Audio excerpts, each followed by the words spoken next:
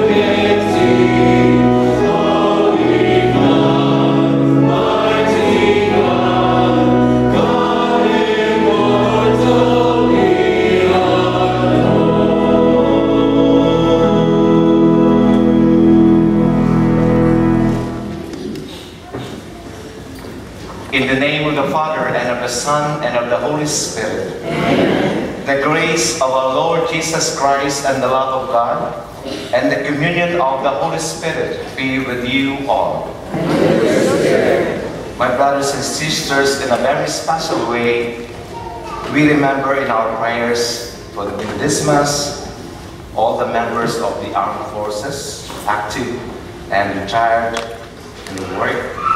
Let us pray for them, especially those who have offered their lives for the good of our country and for the joy that they brought us, especially the gift of freedom. And so as we continue with the celebration to be worthy of it, let us recall to mind our sins and ask the Lord for pardon and strength.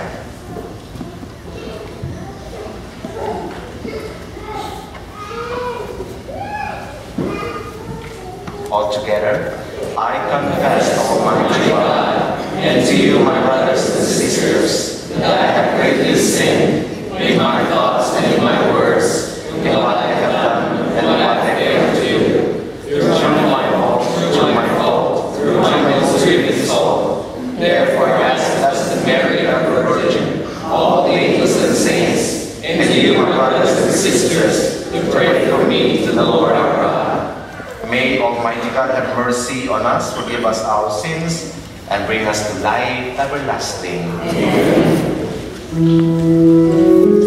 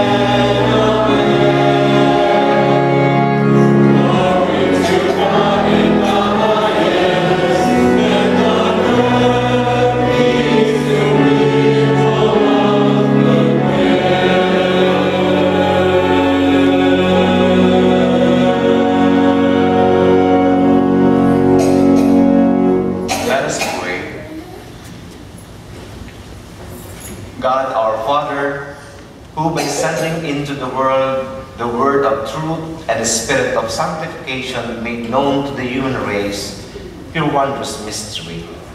Grant us, we pray, that in professing the true faith, we may acknowledge the Trinity of eternal glory and adore your unity, powerful in majesty. Through our Lord Jesus Christ, your Son, who lives and reigns with you in the unity of the Holy Spirit, one God, forever and ever. A reading from the book of Proverbs. Thus says the wisdom of God, the Lord possessed me, the beginning of his ways, the forerunner of his prodigies of long ago. From of old I was poured forth, at the first, before the earth. When there were no depths, I was brought forth. When there were no fountains or springs of water, before the mountains were settled into place, before the hills I was brought forth. While as yet the earth and fields were not made, nor the first clods of the world. When the Lord established the heavens, I was there. When he marked out the vault over the face of the deep. When he made firm the skies above. When he fixed fast the foundations of the earth. When he set for the sea its limit, so that the waters should not transgress his command. Then I was beside him as his craftsman, and I was his delight day by day, playing before him all the while, playing on the surface of his earth, and I found delight in the human race.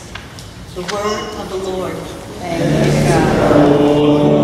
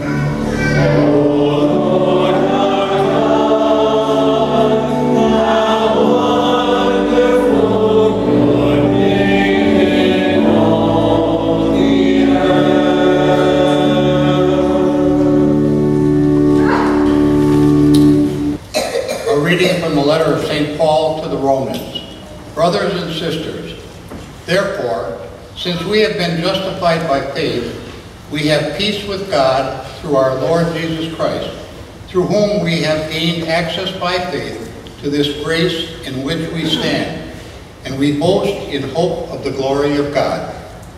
Not only that, but we even boast of our afflictions, knowing that affliction produces endurance, and endurance, proven character, and proven character, hope. And hope does not disappoint, because the love of God has been poured out into our hearts through the Holy Spirit that has been given to us.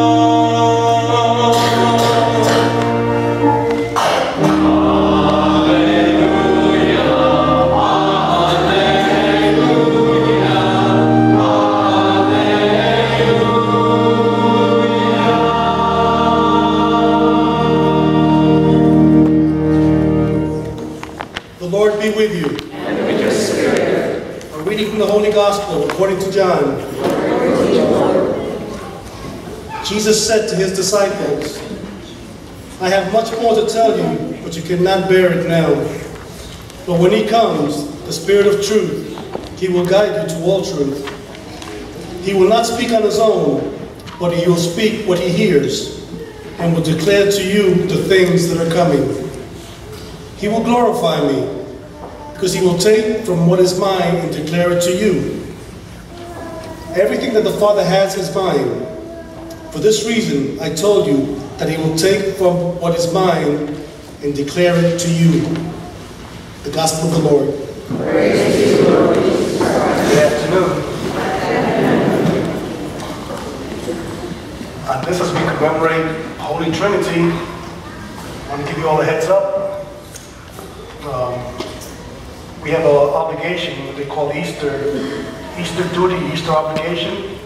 All Catholics are supposed to receive confession and communion between the first Lent, first Sunday of Lent, and Holy Trinity. So we're supposed to have done that in the last few weeks. So if you haven't done it, we still got time. We have one more day. Get all the priest after Mass. Do your confession. Confession is good for the soul. As a matter of fact, that's quite a, not much to ask for. One, one confession, one communion, Lent, the Holy Trinity. Where our Lord deserves so much more. So it's not much to ask for. Confession is good for the soul. It is.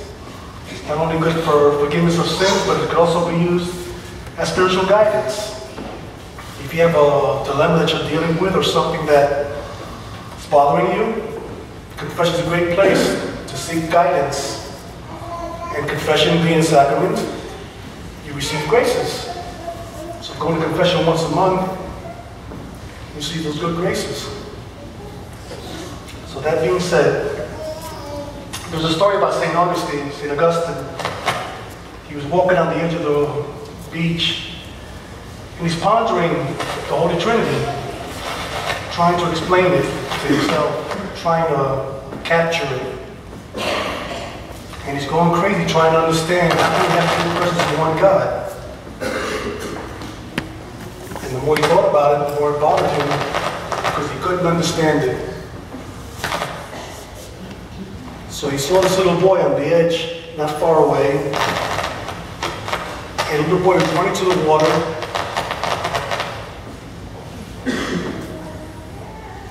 Collecting a cup of water, running back, and pouring into a hole he had dug in the sand. It was working perfectly the last four masses that I've done. I don't know what's wrong now. If it keeps on, I'll just go to the end, I'll finish. But anyway, St. Augustine saw this little boy going back and forth, back and forth, getting water, pouring into the hole, getting the water, pouring into the hole. He's wondering, what is this young man doing? So he stops by the young man and says, what are you doing? And the little boy says, I'm going to take the ocean and I'm going to fill the hole up. I'm going to empty out the ocean. I'm going to pour it in this hole. St. Augustine told him, little boy, that, that's impossible. You cannot take the vastness of the ocean and fill in that hole. The little boy told him, and neither can you contemplate the vastness of the Holy Spirit, of the Trinity, into your mind. And the little boy was supposed to have been Jesus. It's a story. But it, it, to give you an idea, it's impossible to understand the Blessed Trinity, Father, Son, Holy Spirit. It's just, you can't, you just cannot explain it. We get to heaven, we'll be able to, to understand it. But right now we can't. It's, it's one of the mysteries of the church. And we as Catholics are asked to believe mysteries. So you have to have a strong faith to be Catholic. The Blessed Sacrament, wine and bread turn into body and blood of our Lord Jesus Christ. You have to believe that. If you don't believe that, the very center of our faith, then we're in the wrong place. That is the body and blood of Christ. But the Holy Spirit, along with the Father and the Son, they are pure love, and they ask things of us I've always seen the Holy Spirit as being like what animates everything, what makes, gets everything going. What the Father and the Son desire of us, the Holy Spirit is what moves us, what pushes us into action, if we are open to it. Because we can always say no, and people say no to God every single day, unfortunately. But I truly believe that we all have a job to do, that when we were born, we, we were each assigned something to do, something specific, at a certain time, in a certain way. And that task was assigned to us and us alone. Now, we don't know what that's going to be, but we have to be ready. Have you all seen that commercial where somebody holds the door open for somebody that's struggling with a bunch of packages, and somebody sees that person do that, and that person goes, they, they do a good deed for somebody, and somebody sees them doing a good deed, and they do a good deed for somebody? That's the way we work in this world. We keep on passing on things that, that need to be done. Like I said, once again, how do we know when that time is for us? How do we know when the Lord wants to step in and say something or do something to a certain person so that we can complete our task? We don't know. The only way we could do it is to live a Christian life, to be in the Lord, to be where He wants us to be and do the things He wants us to do. And how do we do that? We have Scripture. Reading the Bible is quite, you'd be surprised. Because we read certain passages, but in between those passages every Sunday, there's more readings, there's more things to learn. We have the, the Mass, Holy Sacrifice of the Mass. How about once in a while we get up on Saturday morning go to church on Sunday Saturday morning? Put an extra Mass in our pocket. How about confession once a month? So we see special graces. The Lord gives us so many opportunities to learn, to grow. Doctors, lawyers, all these professional people, even carpenters, there's always new things coming up. We will never know everything about God, but there's always something to learn about Him. And when we're learning about God, we're staying close to God. And when we stay close to God, we will be ready when our task comes along to do what the Lord has put in position for us to do and us alone. And we dare not fail. I read a story about this black woman down in the South in the 60s. Her car broke down in a pouring rain. and There she is on the side of the road, pouring rain at night, trying to flag somebody down. She had to get someplace in a hurry. And this young white man stopped and picked her up. Unheard of in the South back in the 60s. And he got her to a taxi, and the woman got to where she needed to be. The woman was Natalie Cole, Natalie Cole's mother, Nat King Cole's wife. He was dying in the hospital. And if you don't know Nat King Cole, if you ever heard of Chestnuts Roasting on an Open Fire, that Christmas song, Nat King Cole sings that song. He sang many beautiful songs. But she made it to the hospital on time because that young man did something that was out of character. He stopped on a pouring rain night to pick up a black woman in the deep south back in the early 60s. I'll bet you anything that man was a Christian man. I'll bet you anything that man was living his faith and doing what he thought, what he knew he should do. An act of kindness. Because we don't know, but it might be a big act, it might be a gigantic thing we have to do, it might be a little minuscule thing. Something as simple as talking to somebody that's very depressed. And you might actually talk to that person without even knowing it from committing suicide. And then that person goes out to do something great. We're all pieces of a puzzle. And the Lord places us where we need to be. But we have to be open to the Lord. And how do we do that? Like I said, once again, Scripture, Holy Sacrifice of the Mass, confession, the sacraments. We need to be open. We need to start giving God His time. He deserves time. Not just Saturday, not just Sunday for one hour and one hour only, because once we pass it out, I gotta go. There's a sale at Walmart, and there's a beach, and there's this and there's that. Lord, one hour and that's it. We need to push ourselves away from the computer, from television. I'm not saying these things are bad. But we can't let them dominate our time. We can't. God deserves his time. All these things steal us. They, they rob time away from us. Instead of spending, you know, there's things on the, yes, the computer's a great thing. Facebook, I don't have it, but it's communication, good. Twitter, blogging, okay, good. But how much time are we dedicating to that as opposed to the time we're dedicating to prayer time for the Lord? Because we have to hear Him. In order to hear Him, we have to turn the music down, turn the noise down, make room to listen. And He will talk to you, you'll hear Him. But you have to be open to Him. Like I said, all these inventions, all these things are great, and they serve a great purpose. But we can't let it steal our time. We have to be open to the Lord. We have to be open to that moment where the Holy Spirit's going to come in, give you a nudge. And if you've ever been in a very windy day where you feel the, the wind pushing you and you're kind of walking like this, you could hang on to something and not go, or you could let that wind push you. Let the Holy Spirit move you right to where you need to be.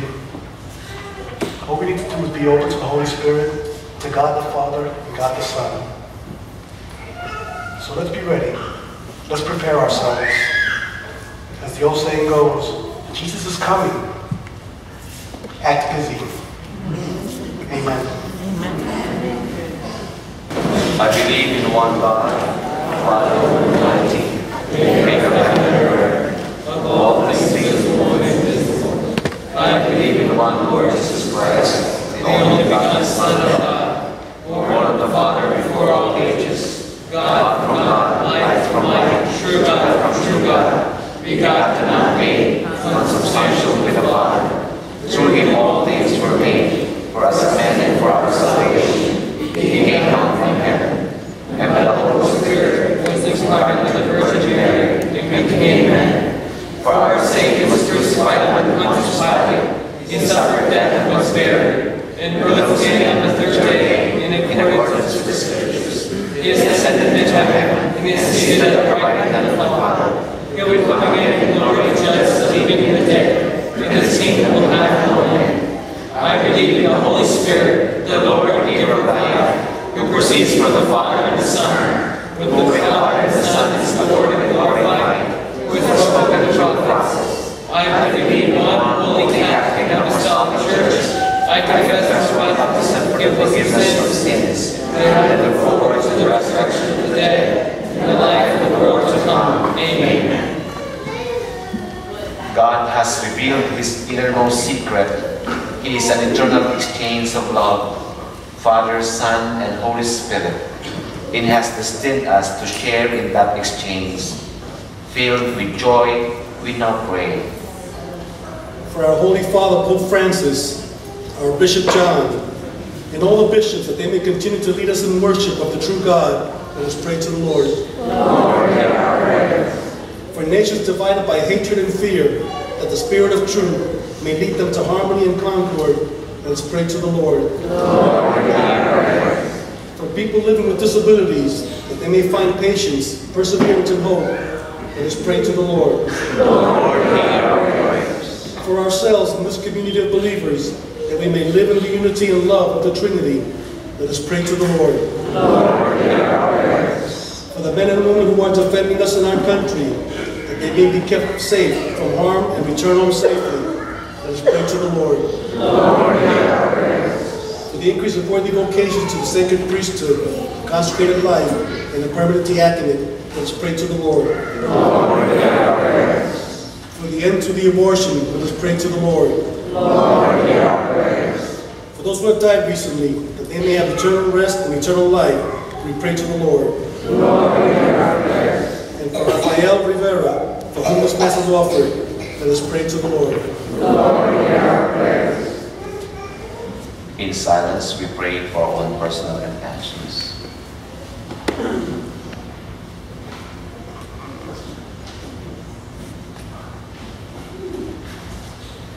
Loving Father, let us remain completely vigilant in our faith and wholly given over to your creative action. We ask this through Christ our Lord. The prayers for this Mass are Gary and Virginia Leon. The second collection this weekend is for the Oklahoma tornado victims. So please place the capital maintenance envelopes in the first collection basket. Our offertory hymn is number 243, Holy, Holy, Holy Lord God Almighty, number 243. Pray,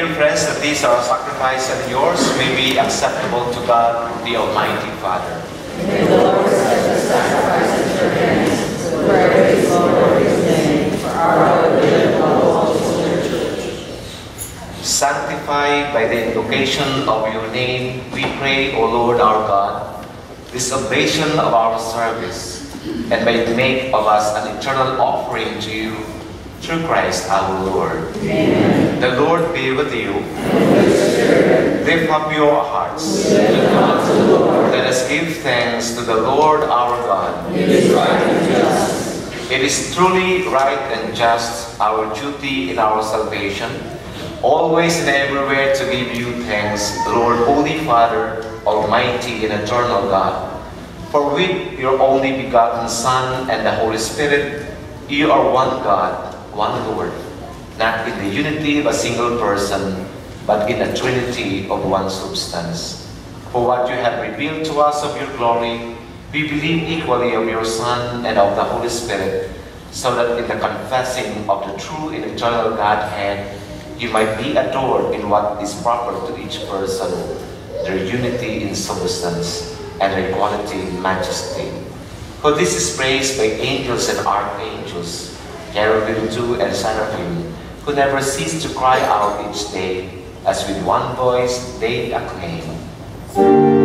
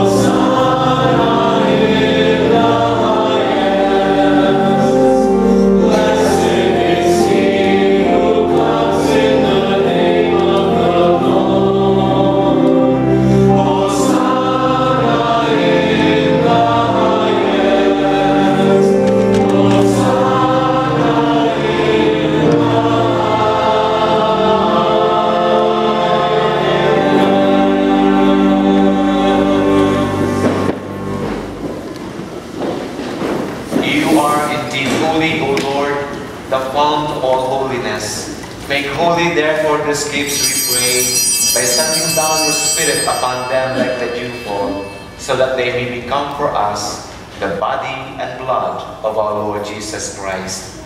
At the time he was betrayed and entered willingly into his passion, he took bread and giving thanks, broke it, and gave it to his disciples, saying, Take this, all of you, and eat of it, for this is my body, which will be given up for you.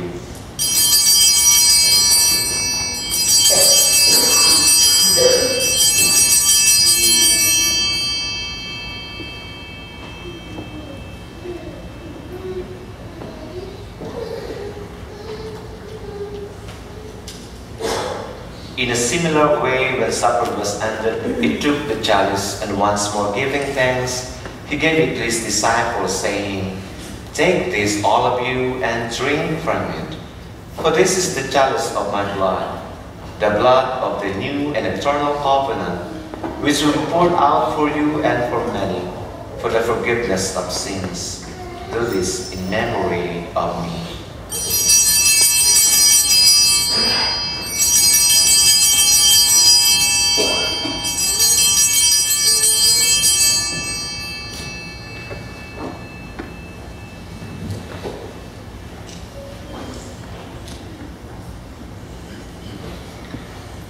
The mystery of faith.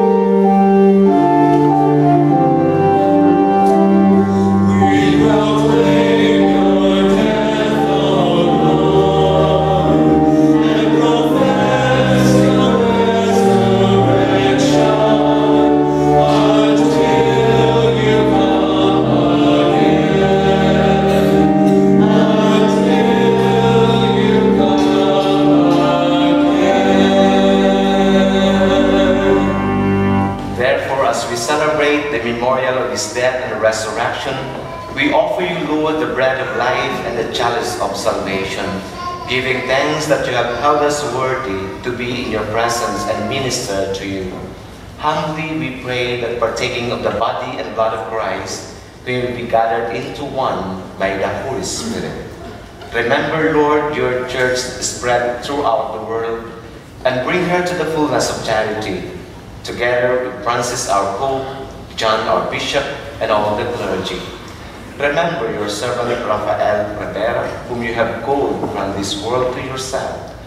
Grant that he who was united with your Son in a death like his may also be one with him in his resurrection.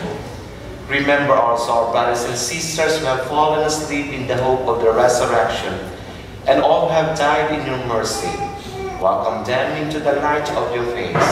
Have mercy on us all, we pray, that with the Blessed Virgin Mary, Mother of God, with the blessed apostles and all the saints who have pleased you throughout the ages, we may merit to be co-heirs to eternal life, and may praise and glorify you through your Son, Jesus Christ.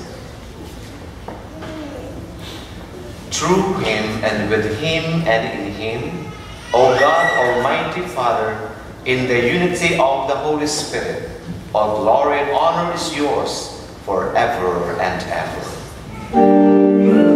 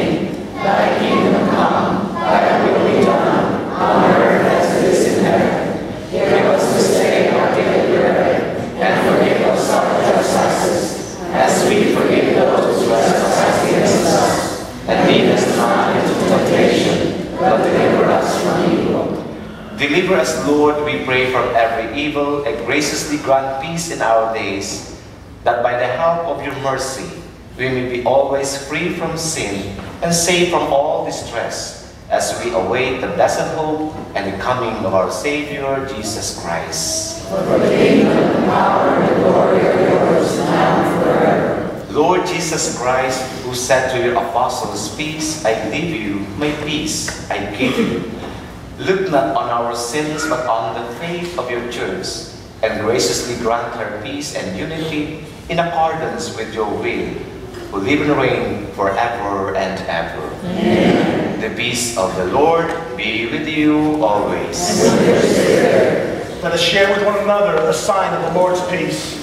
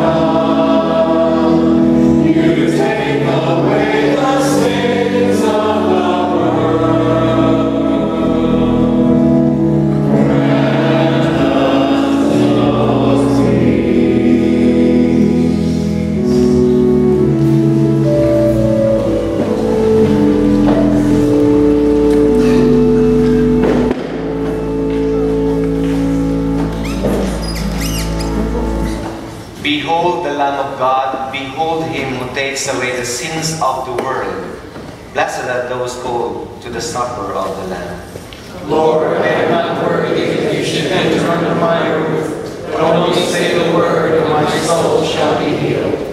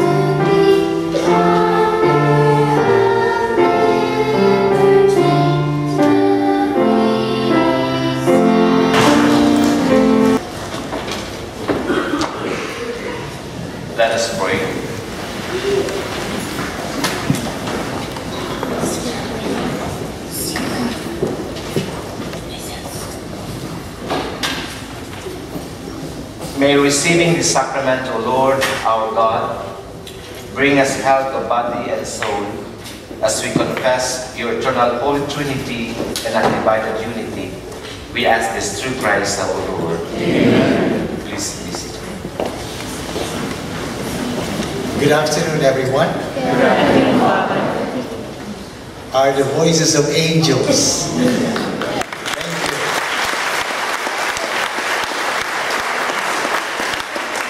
And for those, I see here some young boys and girls. If you're interested to join our children's choir, please don't hesitate. To talk to our music director, uh, Mr. Jonathan, right after Mass today so that you can sign up. And also you can uh, inquire about the practices that they have. So please don't hesitate to do that. We have some wonderful news that we have uh, in our parish today. Um, we have some new faces. We have Father Mariano Catura, who just celebrated.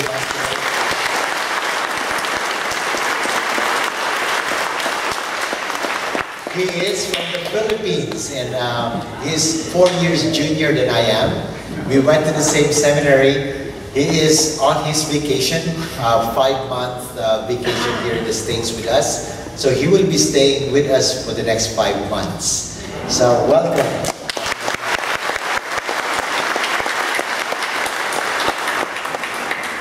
Also another new face in our community today. We just hired a new youth uh, ministry coordinator, Miss Dolly Brophy. Please stand.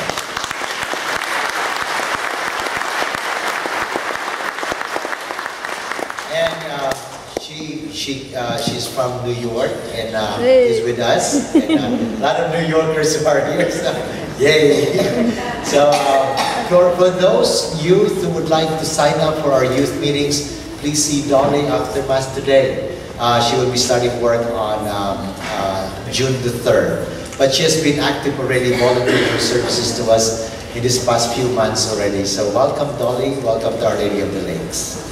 We have other announcements that we have for our ministers of Holy Communion and readers. You may want to visit our ministry room to check your schedule for, uh, we have a new schedule available for you. We would like also to welcome you all to join us for our Corpus Christi procession next weekend. It's the Solemnity of the Body of Christ. We have an annual uh, procession around the church with all the different altars uh, to be set up there with our Blessed Sacrament being processed. So if you are available, please don't miss this wonderful opportunity to join the processions. Most importantly too, we would like to invite our first communicants, those who had their first confession this year. Um, you are most invited to come over and participate in the procession. We have also a fundraising that we support uh, by, it is a fundraising headed by Mr. and Mrs. uh, Dominic and Audrey Delio, our parishioner, uh, supported by the CCW and the rest of the parishioners. They have this wonderful program that they do every year. It's to help the underprivileged youth of our city, not only of our parish, but our city of Deltona. And they have this camp challenge that they, they do every year. If you would like to know more about it, please talk to them after Mass. They're at the foyer. If you would like to support them, please do so. You're most encouraged to do it. And you can talk to them after Mass. What else do we have here? There's no office. Uh, office will be closed on Monday. Uh, and also there will be no adoration on Monday. Coffee and sweet treats are uh, hosted by the members of the Filipino community. And they have, uh, I think they already, they'll be serving brunch already at this time. So uh, please don't forget to visit them at the social hall. Um, in the last couple of months, a couple of months ago, I mentioned to you all about uh, Catholic appeal. And Catholic appeal is, is uh, coming together of all the parishes in the Diocese of Orlando supporting the initiatives and the programs of the Diocese of Orlando. It's like we're one big family coming together. But all these programs can happen without our financial support. So each parish is given uh, an allocation assessment of how much we can contribute based on our offertory collection. We have 114,000 support and the diocese needed it in order that we can help them with their programs. So far, uh, we are still short of 28,000. And there's, and I would like to really thank those who have supported this raising of the funds for this. We have 430 families from Our Lady of the Lakes who have pitched in so that we can come up with the numbers assigned to us. We still needed more. And if you have friends, family members, or if you haven't yourself uh, made the commitment yet, you may want to ask one of our ushers to give you the envelope for that. We needed your support. And as I mentioned to you all, a load that is heavy, if it's divided among many, it becomes a lighter load. So let's come together as a family and, and support this program of the diocese so we can show how much we participate and love our Diocese of Orlando. So please uh, consider that. This weekend is a beautiful weekend since it is a memorial weekend. And our, what we are enjoying now, the freedom that we have, uh, will not be possible without the men and women who have offered their lives and their time for us, the members of the armed forces. If you are here present, please stand so that we can give you a recognition and give you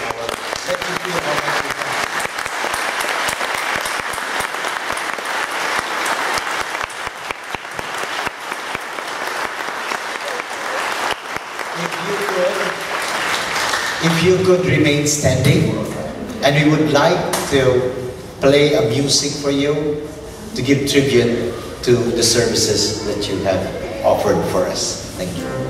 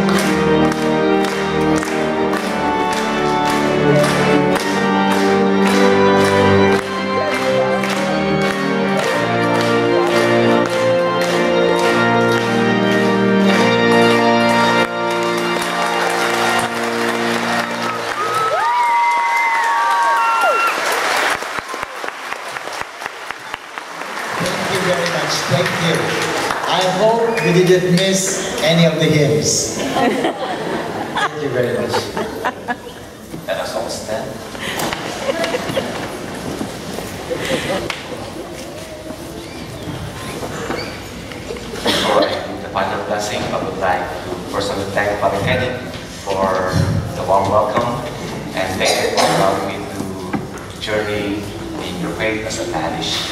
Continue to, to pray for one another. Thank you. The Lord be with you. And with your spirit. And may Almighty God bless you, the Father, the Son, and the Holy Spirit.